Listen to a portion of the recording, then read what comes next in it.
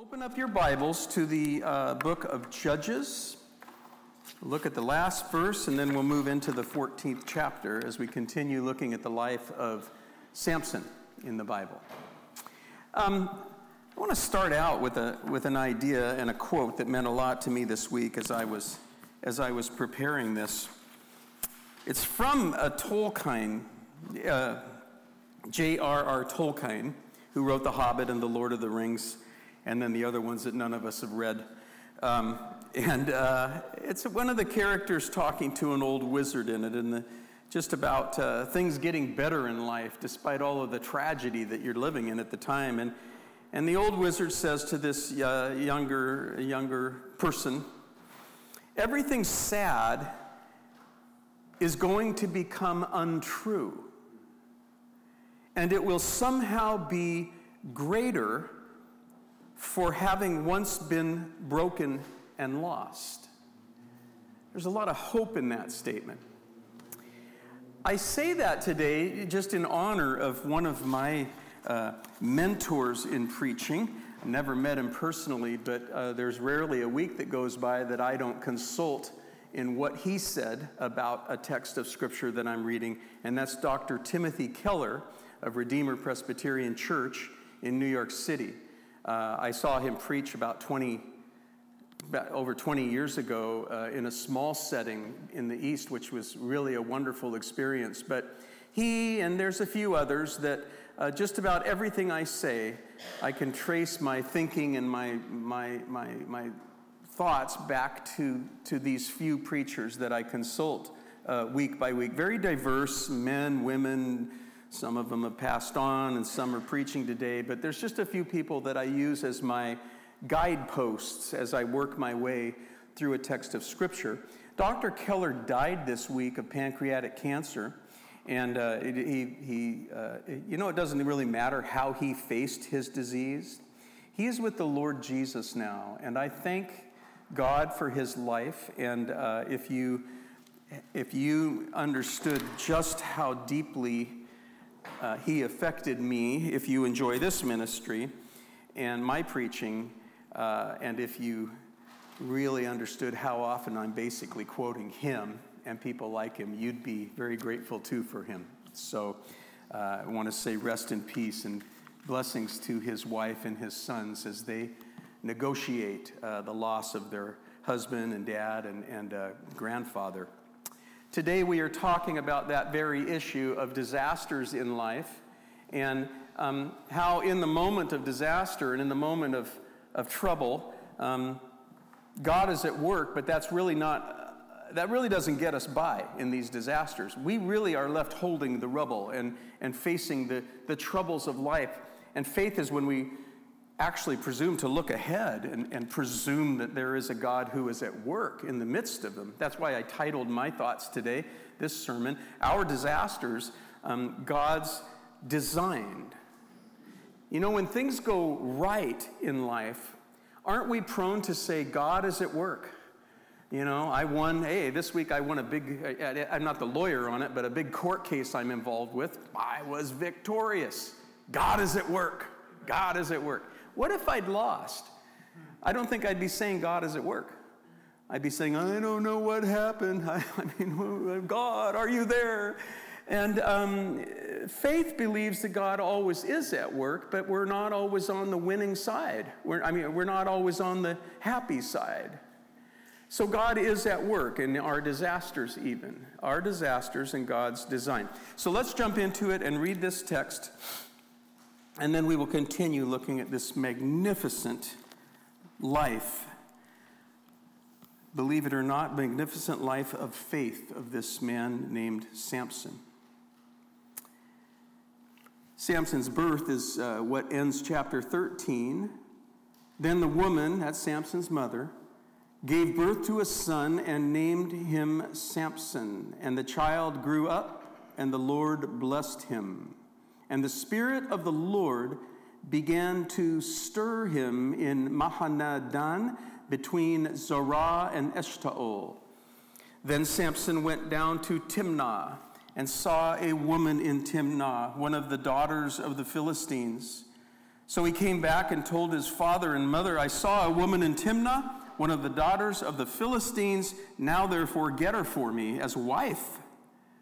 Then his father and his mother said to him, Is there no woman among the daughters of your relatives or among all of our people that you would go to take a wife from the uncircumcised Philistines?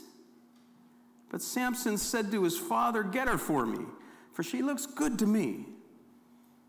However, his father and his mother did not know that it was from the Lord, for he was seeking an occasion against the Philistines.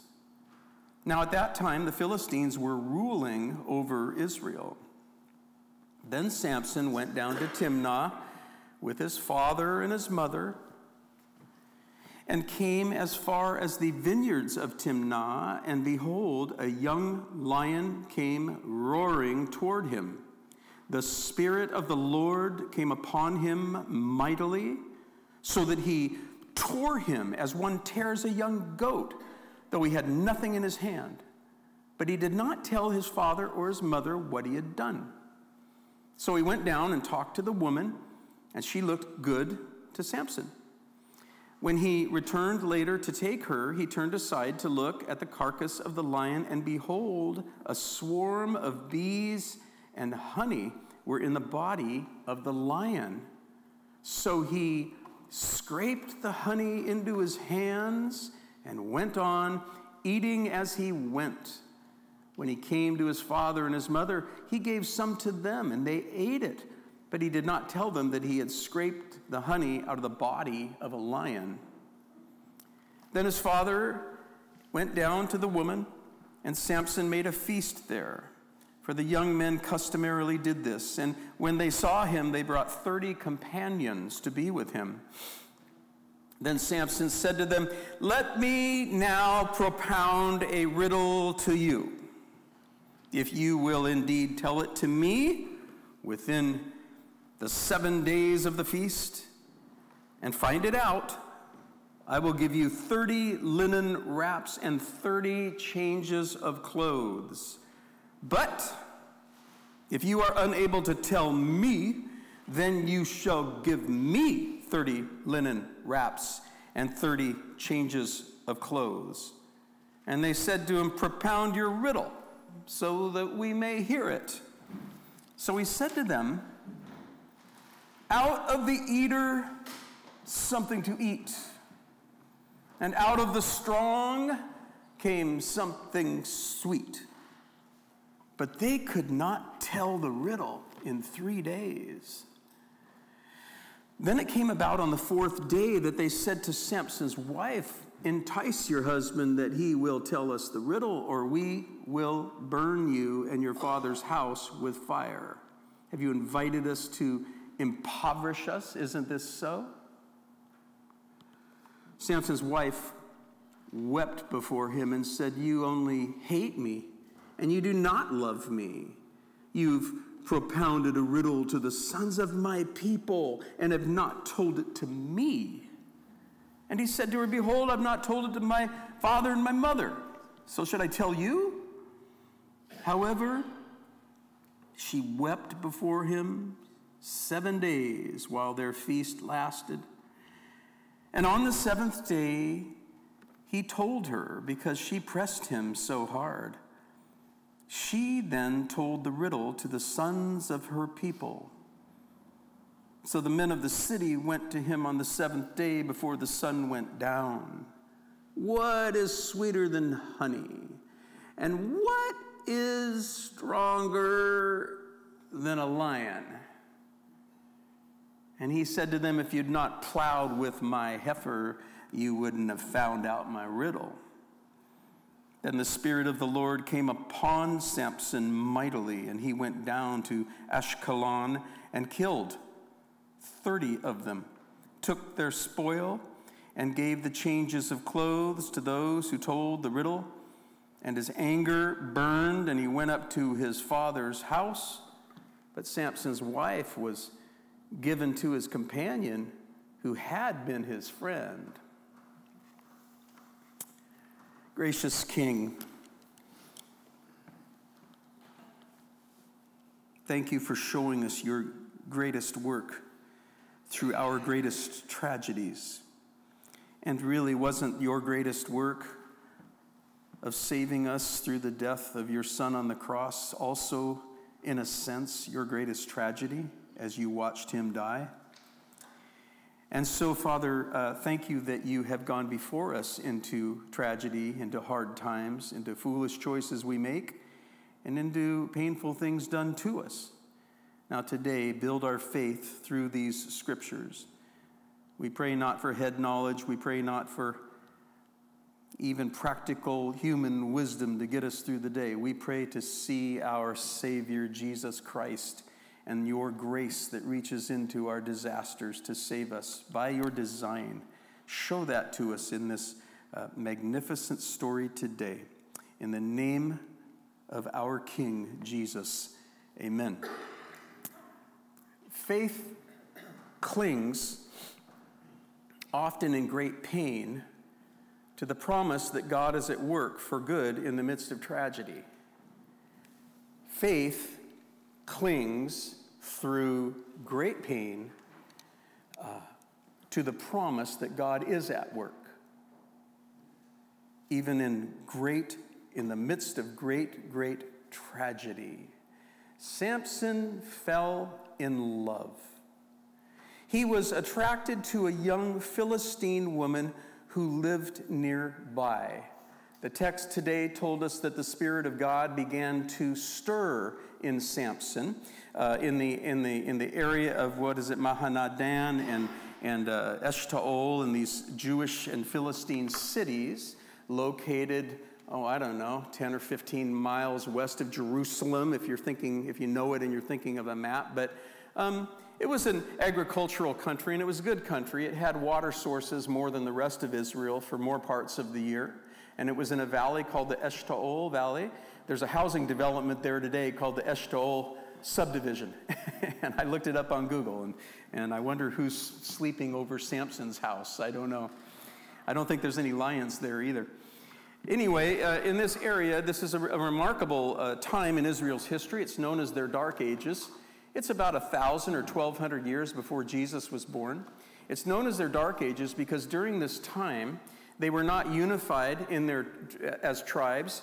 They were routinely attacked by different uh, um, uh, nations, the, Canaan, the, the seven Canaanite nations that they were supposed to destroy and supplant and, and take over everything. Uh, they were routinely at war uh, with them, and um, they would be saved by a judge that God would raise. And Samson was a judge. It's interesting in this story, they were under a Philistine oppression. That's an interesting group of people. These aren't the Canaanites. The Philistines had been sea people that came from probably Crete and Greece, and, and they're taking over. And uh, they oppressed Israel, oppressed these people for 40 years. That's longer than any other group was oppressed. And we don't find the people of Dan or Israel, where Samson came from, crying out to God for salvation. They were all getting along, is what I'm saying here. So um, God's going to be a little different in how he raises up a different kind of a judge who does his work a little differently. And he pays a great cost for it, and he costs himself greatly through his own life and decisions. So he falls in love with a Philistine um, woman. And he lived in a culture where uh, they, uh, they freely mixed with the Philistines. Just like Israel today, there's Palestinian villages and there's Jewish villages. And you can tell by, you can tell by the roofs which is what kind of village you're looking at. But there were these different villages for these different ethnic uh, nationalities and groups. And uh, Timnah was a Philistine town up the Eshcol Valley following its water source. Uh, apparently, lots of vineyards there, and grain and different, different crops. And it was up this valley going towards Samson's town, which was Zorah in this area. And the two towns were about four miles apart. And these people at this time got along with each other, not as equals. The Philistines had mastered the art of ironworking. They made chariots and they made swords and weaponry that they did not share. And then they charged a good amount of money to all the other farmers around there to sharpen their iron tools. So they would, they would give iron farming implements to the Jews who were kind of like their servants, uh, but no weapons or anything like that. And it seemed to be okay with the Jews. They intermarried with the Philistines, they lived alongside them. Uh, uh, we find Samson actually hanging out in a place called Timnah. He might have even had friends there. And he sees a girl there, a daughter of the Philistines, and he is smitten. Now, in this culture, you didn't just get smitten and then go up to somebody and say, hey, you, know, you want to go on a date or something like that. No, no, no. You went through a formal process of your parents contacting her parents. Why? Because the marriages were arranged.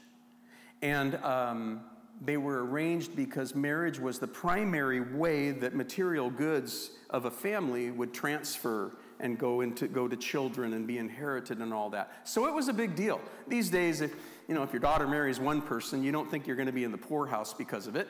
That's just the way it is. They fell in love and they're getting married, and that's that's great. But in those days, those marriages uh, had legal claims and national claims and and uh, uh, your goods, your wealth, and everything. So it was a big deal. So Samson falls in love or is smitten by this girl. All it tells us is he saw her. I'll say a bit more about that um, in a minute. He saw her and he liked her, and he came back and told his dad to start arranging the marriage. His parents, of course, were um, very uh, uncomfortable with that. First off, he just said, I saw her. And, and, I, we routinely look at this story and say, well, he saw her. He was just a lust filled young man who saw a pretty Philistine girl and just had to have her right now, and, that, and that's the mark of Samson's life. He saw and he went. And not fair, not fair and not right. The book of Judges tells us that in those days there was no king in Israel, and every man did what was right in his own eyes. So to see something and go for it, it did not mean you just really lusted after this hot thing down in Timnah although I don't, I don't doubt that was there. But what it meant was, according to your best reasoning of how to attain the best life, this is what you would go for in your own eyes. And Samson says, Dad, in my own eyes, that's the way we all live now, in my own eyes. So his parents were still very uncomfortable, and, and it, uh, it upset and disappointed his parents, and to where they're saying uh, something along the lines of, uh, you know, why couldn't you find a girl from your own people, uh, from your own tribe? When it says your own family, it just means from your own tribe, thousands and thousands and thousands of people, or even just a fellow Jew. And he said, Get her for me because um, she looks good to me. There's that whole in his own eyes thing. Now, by the way, the Philistines were not one of the seven Canaanite nations that God had forbade the Jews to marry. Okay? Doesn't mean there wasn't problems with marrying them. It wasn't mean there weren't the expectation that a Jew stays a Jew and all that, but they were not one of the, you know, slaughter these nations. Oh, and by the way, don't marry them either. There's seven of them, and, and the Philistines are not one of those one of those nations. They're new people, uh, higher culture, higher class, you would say, and they had a they built a class-ruled society where they had another people group, another ethnic group, do the hard, crummy work um, for them for less pay, for less ownership of land, for, for less everything, while the Philistines lived a higher quality class of life. It seems like Samson probably was an important family, his family in this town, because the Philistines don't have a terrible problem with the marriage happening. But there's always, at the end of the day, the possibility of owning Jewish farmland through this marriage. Isn't that what daughters are for? To trade on the open market to get more into the family? It works for me. Not really. you notice my daughters aren't here today, or they'd be throwing stuff at me right now. But that's how it was back then. So he said, It's a good deal. Get her for me as a wife. And his, and his dad went to work doing, uh, doing just that. It says in the text, the Bible, or that his parents, in verse 4, did not know that the Lord was at work behind the scenes to use Samson to uh, deliver the Jews. His parents didn't know it. They were just stepping into something that became a tragedy. But all through the book of Judges, just like the book of Ruth, the authors are always whispering to us You see that? That's God actually at work there. Watch what he does here. And that's what they're whispering to us today.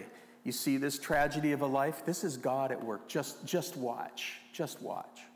So his parents had no idea um, that God was at work, as we saw in the last chapter. They weren't. They didn't seem like spiritually the sharpest tools in the box, to tell you the truth. So they didn't, they didn't even think about that. Well, on the way, they're outside Timnah in the vineyards before they get to the, uh, to, to, into the party. And a lion comes out and attacks Samson. Lions were all over that area, and anywhere there's a water source, there's a, all kinds of juicy deer and all kinds of stuff, and the lions would end up moving in because that's where you'd eat and that's where you'd live. And so a lion, young lion, rushes out and attacks Samson. And Samson, as the text tells us, uh, kills this lion. I think he, he killed it pretty quickly, really, because it tells us that the Spirit of the Lord came upon Samson. And there's no indication that anybody saw lion claw marks or anything when he ended up at the feast or anything. So it actually seems that lion you know, I don't know if he did a little jujitsu or what he possibly did, but there he is. He kills a lion and he rips it apart. It's little things like that that tell us that the God's Spirit is at work and that there's a supernatural thing happening. Uh, you know, I don't know. Maybe Ben could kill a lion, but you're not going to rip it apart. You know, um, he rips it apart just like you would a, a young a young animal that you were going to eat or something, a young goat. Well, he uh, does not tell his parents about what had happened with that lion. That's important. About a year later, they're on their way to the wedding, the wedding feast. Seven day party, seven days of drinking and partying and eating, uh, ending with the probably some kind of Philistine ceremony or, or something, and then the wedding night hallelujah. You know, at the end of that week, man, you get her. You get your marriage. You start your life as man and wife. And so, big, big deal. Seven week, uh, seven week party. So they go down there to start the the uh, the festivities, and on the same place, Samson passes by. Looks like his parents were either in front of him or behind him. He wasn't walking with his parents. Kind of like when I had to used to let my seventh grader out two blocks from school so that nobody saw her dad with you know, dropping her off. I don't know. He wasn't with his parents, and he sees the carcass of this lion. It's about a year later, and bees have taken up a home in it, and they've made a hive, and there's honey. And Samson sees it and sloshes it up in his hand. This is a valuable, valuable thing in that culture and he, ha- and he, bring, he eats it and he gives some to his parents. Uh, he wasn't doing anything really wrong. Uh, he'd taken Nazar, he was living as a Nazarite, but Nazarites could certainly be around dead animals. Otherwise, they'd all be vegetarians, but they weren't. So, no problem there. But he didn't tell his parents about it.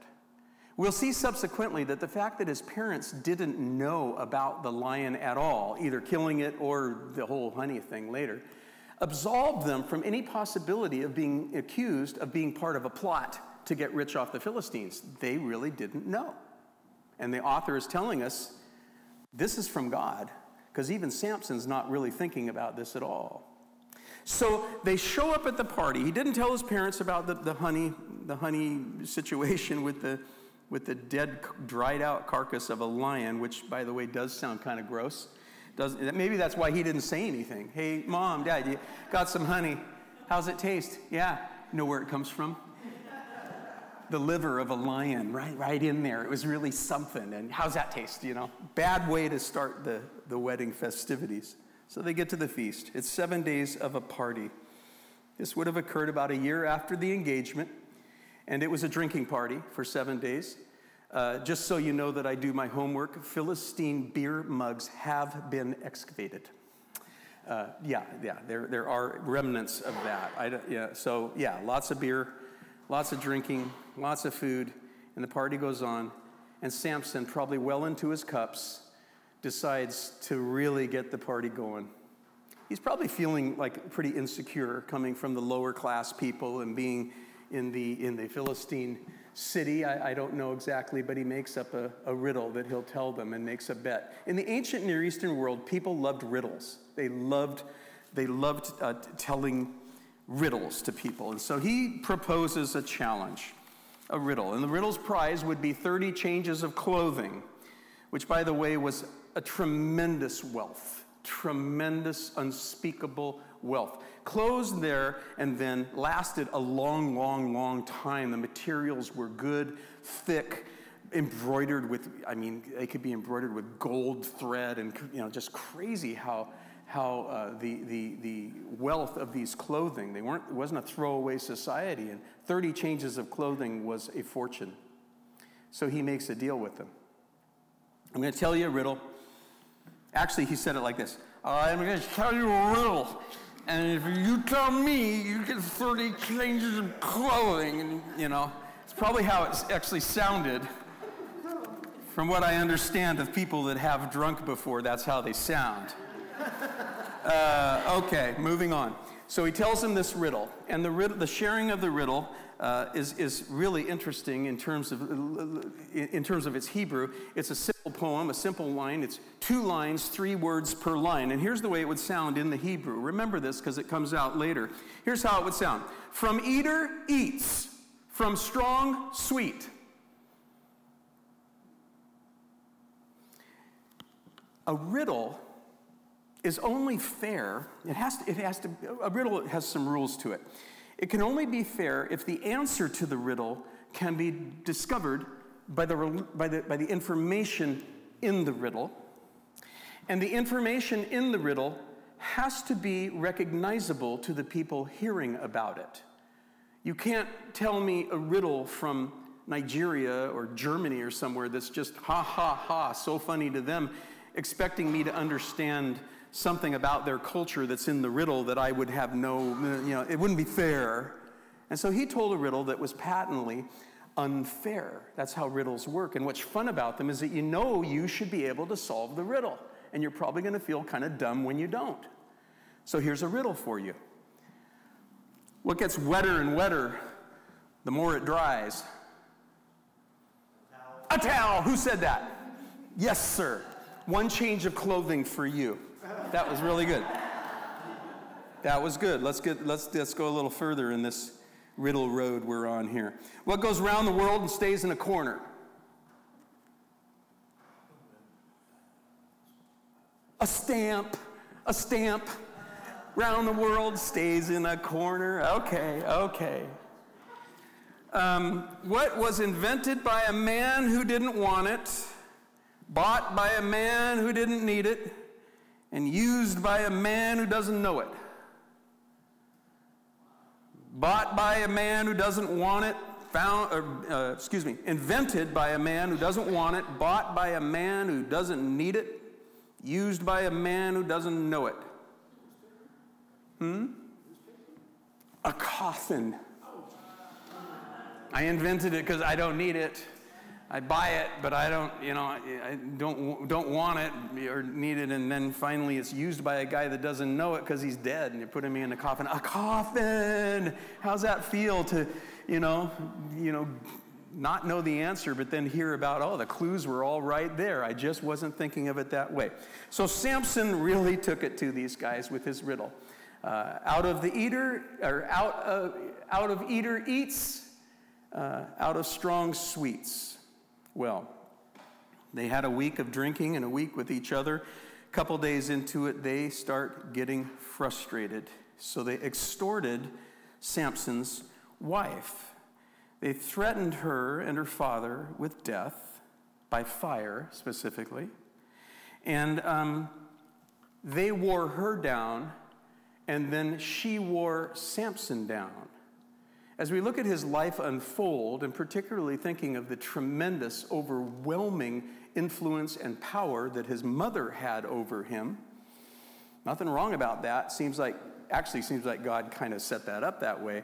But we see him having a remarkable inability to handle displeasing the key women uh, in, in his life and the rest of it. So she wore him down crying and calling into question his love for her. You don't love me. How could you not love me and bring me in on the team here about the riddle? We could get really rich off this, and I'm not even going to be a part of it. And then Samson, not known for his sensitivity, says, uh, I didn't even tell my mom and dad. Why would I tell you? okay. So after a, a week or a few days of this, she wears him down, and then he tells her. And she tells the 30 companions. Let me tell you about these companions. They were not his friends, maybe a couple of them were. They were brought in when the Philistines, probably the father, took a look at Samson. There's no indication that he was some kind of a, Uh, you know, some kind of a great strong man, but for whatever reason, they, t- they took a look at him and brought in 30 companions. But actually, the words are more guards, and the word is more brought in is they took or conscripted 30 companions. They were watching him really, really closely. So she told them, and the word went out and made the answer to the riddle common. The men of the city heard it, everybody knew the answer. You'd think they'd just go right up to Samson and, and tell him right away. They waited until the seventh day of the festivities when the sun went down and Samson was finally going to enter into a tent with his wife and sleep with her and consummate his marriage. He'd waited for this moment. This is his honeymoon night. They waited for that moment to tell him the riddle. Um, they noticed their timing at a time that would bring the greatest suffering and pain and depth of humiliation to the man. Think about humiliating somebody in that situation. The way they shared it was also mocking. They shared it in a poem, not a propositional statement, but a, a question that was two lines of three words per line, the same as he had done to them. What sweeter honey? What stronger lion? They mocked him in how they even shared what was the answer. And they didn't even make it an answer, they made it a question. They made it their own riddle for Samson to solve. And they were cruel and mocking also because Samson was standing next to his wife who had betrayed him. They used his wife, the most important thing in his life, and they turned her. So she lived a lie in front of him for days, having betrayed him. And they beat him by using his wife. You wonder why he went through his life scarred and broken and not right? Well, he knew that he'd been betrayed by his wife, so he immediately insulted his wife. Uh, he didn't suffer well, he called her basically a young cow. If you hadn't plowed with my young cow, you wouldn't have won the riddle. In other words, I know you used her to betray me, and I know you never would have won on your own. He cheated them, and then they cheated him. So Samson goes into a town called Ashkelon, and there we see the Spirit of the Lord entering him, making him strong and powerful, and he makes about a 20 some mile trip further down the valley to the town of Ashkelon. You can go to its ruins today. And he finds 30 men husbands, fathers, sons, 30 men who did not deserve to be murdered in their city. And he murders them. And he steals their clothing. He creates the widows the orphans and the grieving families of 30 men who had the misfortune to be Philistines. And he makes his way back, gives the clothing to the companions they brought in for him, and still enraged, he just goes home and moves back in with, uh, with mom and, and dad. And um, his wife was given over to his companion. I don't know if it was another Philistine or another Jew, but the writer goes out of the way to say, to make matters even worse, his wife was given to a companion of his. The marriage wasn't consummated, now it was annulled. They'd gone through a week of partying, but they weren't really married. You see the, the, the disaster of this young man's life? Not something you just get over. Well, the big idea was that faith claims, even in this great pain and disaster, it clings to the promise that God is at work, even when we don't see it. Samson's tragedies were this he had unchecked desires in his life that hurt him, and hurt him badly, and it also hurt the people that he loved. He didn't have to do that to his mom and dad, and ultimately, he didn't have to do that to his wife, despite her troubles. There was trust that was forever lost between him and his wife. His, his marriage was lost. He brought shame to his family, shame to the family of his wife, and danger to the family of his wife. And he murdered 30 innocent men. Um, he created this wake of death and tragedy at such a young age, and, and, and it followed him around the rest of his life. He learned some lessons through this event that we'll see play out also the lessons that Samson learned after all of this stuff happened is that people that I love can hurt me, and they will hurt me. Loving people will hurt me. Also, he learned the Philistines are not my friends. He grew up with them. That racial, ethnic group is not my friend, and they aren't my friends. He also learned that he had a miraculous source of strength available to him that could, could lead him to do things that no other people could ever do, and that that strength could be used in service to his feelings. He also learned that Philistines can be killed just like anyone else. In a class society with a master class ruling, the underclass ends up believing that the overclass is a little superhuman and that they would be really hard to die and to kill and all of that. He learned, oh no, they die just like anyone else, especially when I'm at work. And he also learned, most sadly, the thing that follows him the rest of his life I am all alone in this life. I'm on my own. I'm on my own. So, on the outside, we see a rash and foolish, violent young man. But behind the scenes, we're told, it's whispered to us by the writer of this, that God is at work in this disaster, in this train wreck of a life, God is at work. God exposed the superficial, compromised nature of the relationship between the Jews or the, the Hebrews and the Philistines.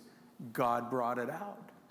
God brought it out that there's a value difference between his people and them, those Philistines that they had become so comfortable living with.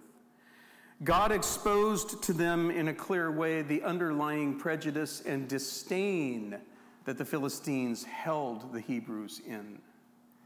They saw it played out in front of their eyes. God exposed the differences between the values of the Hebrews and the values of the Philistines. God began to set in motion a new relationship between the Hebrews of southern Israel and the surrounding Philistines. Remember, it said God be, would begin to deliver his people through the hand of Samson? Well, the beginning is here, and it concludes with David, uh, what, a generation later, finally subduing completely the Philistines. So, this all started here, and God is setting in motion what would be their, their deliverance. And it looks so terrible on the outside, or to watch it and to tell the story, and yet the Bible has the audacity to invite you and me to trust that God is at work when our lives are a train wreck. When we have driven the train, I don't know if you make a train jump the tracks, when we have made the wreck and the disaster. This is Samson's fault when we sabotage our own lives, and when those we love sabotage our life, and when local enemies and prejudiced people and people that would treat us with disdain or hatred or mockery or any of that, when they purposefully attack and ruin our lives. You get the picture I'm, I'm saying is doesn't really matter whose fault it is. What matters is that you're standing in the middle of the street surrounded by chrome and plastic and glass and blood. And, and it's a disaster. And the Bible has the audacity to suggest that you, Christian, can look around you at the rubble of, the, of life, what you've done, what's been done to you, all that you've lost, and you can actually say, God is a God of purpose. I just might not see it yet. He didn't see it yet. He didn't see it in his whole life. He didn't see it. But there he is in the book of Hebrews. What is it, chapter 11? The great hall, the, the great list of the faithful men and women of God throughout the scripture. There's Samson. I, def, I ask, I def, man, I challenge you to a riddle. No, I, I, I challenge you to read through the life of this man and show me where he grasps his great calling of God and is a godly man and a godly leader. You won't find it. You won't find it. You, I mean, people have tried really hard to do it, but eh, not really. In fact, the best they can say is, well, uh, at one point in his life, it looks like he had 20 years where he didn't go to a prostitute or kill anyone. you know, wow, that's a high bar. you won't find it. And yet there he is with his failed Paul, his failed life at this particular point and moving on, uh, being used by God and part of God being at work despite the tragedy.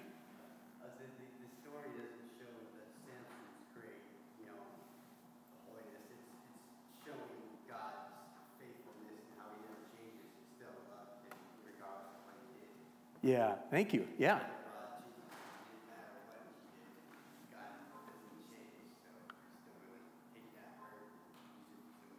Yeah, thank you.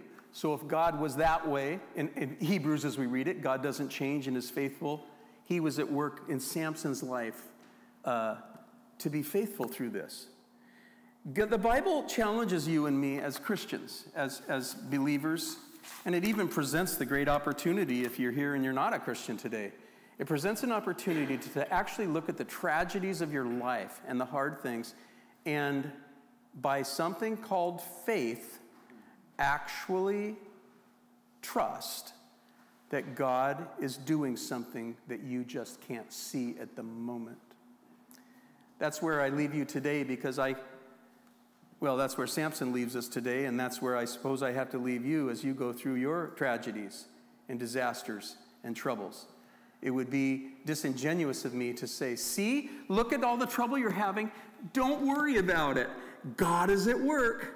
He never closes one window without opening another. Nothing but a great, bright future for you because God is always at work. Cheer up. Have some casserole. It's going to be okay. Um, no. Aren't the worst things that happen at funerals when somebody says something kind of like that? Well, what are your plans now? I mean, after we get him buried, what, what are you thinking? Back to school or, you know? I mean, these, these just breathlessly ignorant, horrible things that are said. They're being said to try to deal with the discomfort of the fact that in tragedy we don't see plans and we don't feel good and we don't see God mightily at work at all. But the challenge of faith is to believe and to act as if God is at work and then see what he does. Please pray with me.